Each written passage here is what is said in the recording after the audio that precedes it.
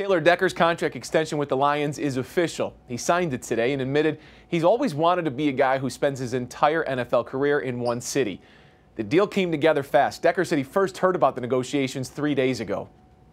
This city's uh, become become my home, and um, you know I'm a part of this community. So um, to have the outpouring of love and support from the from the fans, from my friends, uh, family, from and then obviously from the organization to uh, want to you know sign me to a, an extension is, is huge. Right when right when we agreed to terms i asked if i could just call my mom real quick so uh, my parents could hear it from me because um, i didn't want them to have to read it on espn my mom started immediately bawling crying and i started crying and i had to be in a team meeting in four minutes.